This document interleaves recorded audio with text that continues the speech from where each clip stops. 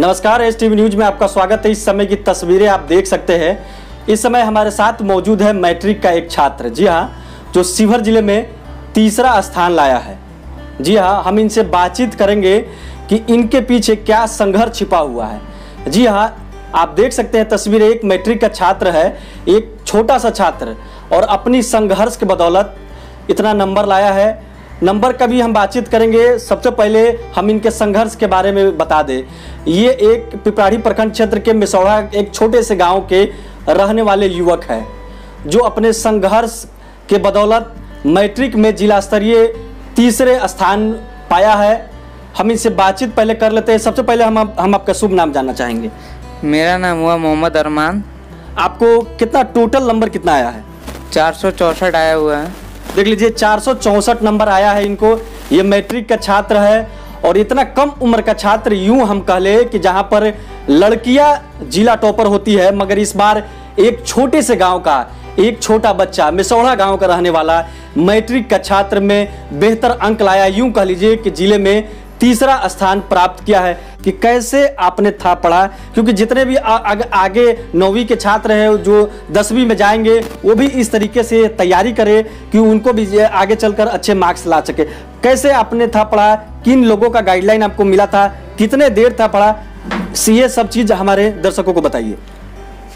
मैंने पहले coaching join किया शिवेश्वर जो पिपरारी है और वहाँ पे मैंने डेली जाना किया एक भी एक भी दिन एबसेंट नहीं किया और मैंने शुरू से ही पढ़ाई पर फोकस किया टेंथ का पूरा साल भर जो है ना पूरा ध्यान दिया और मेरे घर के भी सबका योगदान ज़्यादा है। किन लोगों का आपके घर में सबसे ज़्यादा योगदान होगा? जैसे चाचा जी होंगे या पापा होंगे। आपको लगता होगा कि आपके पढ़ाई में सबसे ज़्यादा हेल्प या मार्गदर्शन कहें, उन लोगों का सबसे ज़्यादा हुआ होगा। नाम नाम बताइएगा ज़रूर। जी, मेरे अंकल है जो आशिक इकबाल, वो भी बहुत ज़्यादा ध्यान दिए और घर पे भी स्टडी करने के लिए ज़्यादा फोकस करते थे और कहते थे कि पढ़ो और इधर उधर नहीं जाओ, यानी कि पढ़ने से अच्छा होगा और इसके कारण मेरा अच्छा रिज़ल्ट आया और मेरे मम्मी का भी ज़्यादा योगदान है कि मैं घर पर, यानी कि मेरा बहुत ख्याल रखती थी और बाहर मेरे अब्बू रहते हैं जो अति बाहर कमाते हैं और रुपया भेजते हैं जिससे कि हमारा घर चलता है। आप कितने घंटे रात रात में स्टडी करते थे या सुबह में पढ़ते थे?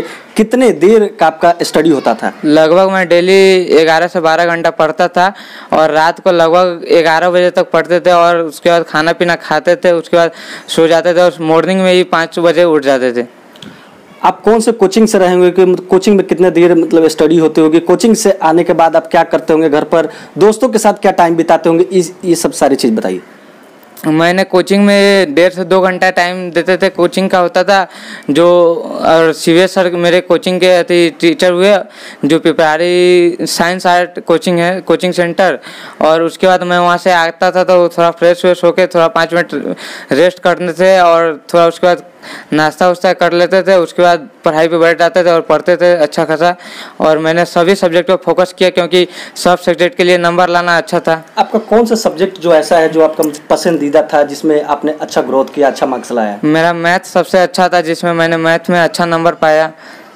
तो क्या आगे का आपका ख्याल है? क्या आप डॉक्टर बनिएगा इंजीनियर बनिएगा? एक उम्मीद होगी एक उम्मीद को लेकर हर लोगों का एम होता है कि हम ऐसे तैयारी करें अच्छा नंबर आता है डॉक्टर बने इंजीनियर बने। क्या आप बनना चाहते हैं? क्या गाँव का नाम क्या रोशन करना चाहते हैं? मैं यूपीएससी करना चाहता हूँ आगे चलकर मैथ लेकर इंटर में मैथ लेकर और यूपीएससी करना चाहता हूँ।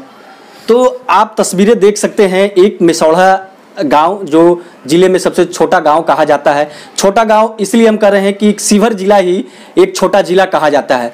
उसी जिला के अंदर पिपराड़ी प्रखंड क्षेत्र के मिसौड़ा गाँव पड़ता है। वहीं का एक छोटा सा छात्र अपनी संघर्ष के तौर पर मैट्रिक में तीसरा, ज़िले में तीसरा स्थान पाया है और उम्मीद देखिए, इनका मार्गदर्शन इनके अंकलों, अंकल के द्वारा, इनके चाचा जी के द्वारा मार्गदर्शन किया गया और उनको उत्तेजित किया गया पढ़ने के लिए और इन छात्रों का हौसला देखिए।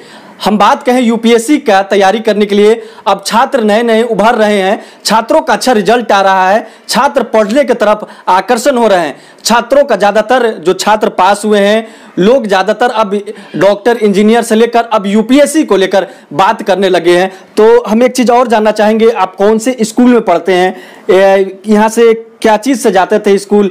कितने देर में समय लगता था आपको स्कूल जाने में? मैं साइकिल से स्कूल जाता था और यहाँ से लगभग तीन तीन, साढ़े तीन किलोमीटर है जो कलावती जियालाल है अति अम्बा कोठी, उसी में मेरा एडमिशन था और वहीं मैं अति टेंथ में एडमिशन लिया था, उसी से मैं पढ़ने जाता था और वहीं से मैं पास हुआ हूँ।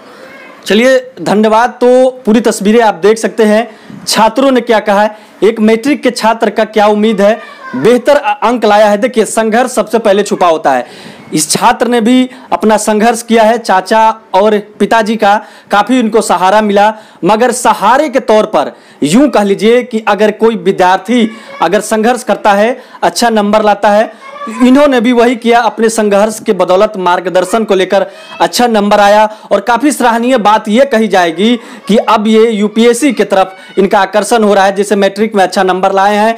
अब इनका आकर्षण हो रहा है कि यूपीएससी निकाले और एक मिसौड़ा गाँव का नाम रोशन करे डीएम कलेक्टर बनकर एसपी बनकर इस मिसौड़ा गाँव का नाम कहना चाहेंगे कि एक परिवार के सदस्यों का अहम रोल होता है। उसी कड़ी में अरमान की दादी जी हैं, हम उनसे भी बातचीत कर लेते हैं, क्योंकि बच्चों पर खास जो परिवार का जो ध्यान होता है, उसको लेकर हम बातचीत करेंगे, क्योंकि अब आपका पोता यूपीएससी का तैयारी करने के लिए बोल रहा है, मैट्रिक में अच्छा नंबर लाया है, इसके विषय में आप क्या कहना चाहिएगा? बउआ, हम लोग बहुत मेहनत से बच्चा को पढ़ाए हैं, समझ? हम लोग चाहते हैं कि हमारा बच्चा आगे बढ़े।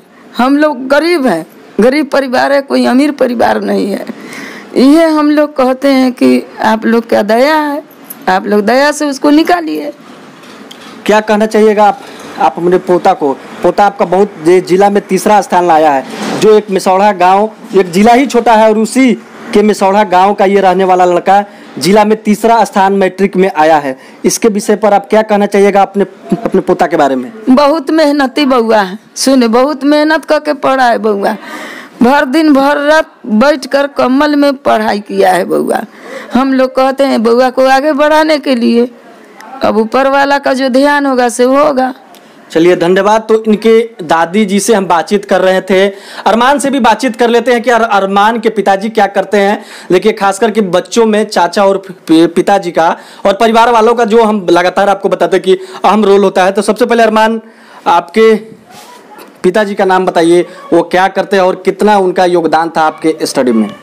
मेरे पिताजी का नाम मोहम्मद मुनाजिर हुआ, जो दिल्ली रहते हैं और वहाँ काम करते हैं और बहुत मेहनत करके रुपया कमाते हैं और हम लोग को भेजते हैं, जिससे हम लोग पढ़ाई करते हैं, हम लोग बहुत कष्ट में जी रहे हैं और बहुत मेहनत करके पढ़ते हैं, हम लोग एक भी रुपया इधर से उधर नहीं करते हैं, क्योंकि बहुत मेहनत से रुपया आता है और सही उपयोग करते हैं और अच्छा से पढ़ते हैं। अच्छा यहाँ से जो नौवीं के छात्र हैं वो इस बार दसवीं में जाएँगे। उन बच्चों के लिए क्या आपका संदेश होगा? क्या कहिएगा उन बच्चों को कि आप कैसे स्टडी करें और और कैसे पढ़े कि मेरे जैसा उतना नंबर ला सके? उन बच्चों को मैं यही कहना चाहता हूँ कि वो लोग ध्यान से पढ़े और मेहनत करें। मेहनत करने से हर चीज़ होती है और जो अच्छा से पढ़ेगा, वो नंबर अच्छा ज़रूर लाएगा और कोचिंग में अच्छा से पढ़े और घर पर भी आके पढ़ना चाहिए क्योंकि घर पर भी पढ़ने से बहुत ज़्यादा जब तक ले रिविज़न नहीं होगा, तब तक ले कुछ नहीं होने वाला है।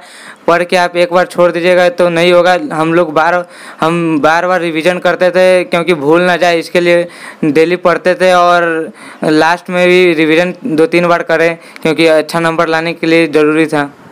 क्या आपने जब एग्ज़ाम दिया था, जब मैट्रिक का एग्ज़ाम चल रहा था, उस समय जब अपने आप एग्ज़ाम देकर घर आए, उस समय क्या लग रहा था आपको कि इतना अच्छा हमको नंबर आ जाएगा या कम आएगा या ये भी होता होगा कि यार आ जाएगा नंबर, उतना ही में ठीक है? क्या आपको ये मालूम था कि इतना अच्छा आप नंबर लाएँगे जो यहाँ के जिला का तीसरा स्थान करेंगे प्राप्त, ये आपको अनुभव था? क्या आपने लिखा था? उस समय अनुभव हुआ होगा या कहा होगा, यार ठीक ठाक नंबर आ जाएगा क्या इसके विषय में क्या कहना चाहिए? जी, मैंने बहुत मेहनत किया था, जिसके लिए मैं भी बहुत अच्छा से परीक्षा किया था, जिसके लिए मैं कह रहा था कि मेरा नंबर सही आएगा। मैं जान रहा था कि बहुत अच्छे से लिखा था और बहुत मेहनत करके पढ़े थे, इसलिए कि मुझे अनुभव था कि मैं ला पाऊँगा, इसलिए कि मैं बहुत अच्छा से लिख कर और सही से आया था, जिसके लिए मुझे बहुत अति अपने आप अति था कि मैं ला पाऊँगा इतना नंबर। चलिए, धन्यवाद। तो अरमान से देखा आपने हमने किस तरीके का बातचीत किया। जो नौवीं के छात्र है, वो इस बार फिर मैट्रिक में आने वाले हैं। किस तरीके की आप तैयारी करेंगे, उसको लेकर खास संदेश भी दिया। खास करके हम यूँ बताएँ कि अरमान की अगर हम बात कहें, उन्होंने अपने संघर्ष के बदौलत जब अपना पेपर मैट्रिक का एग्ज़ाम दिया था उस समय उनको आभास हो चुका था कि मैं ज़िले में अच्छा नंबर लाऊँगा और अपने गाँव का नाम रोशन करूँगा। तो शिवर से आप देख रहे हैं आकिब राजा की रिपोर्ट।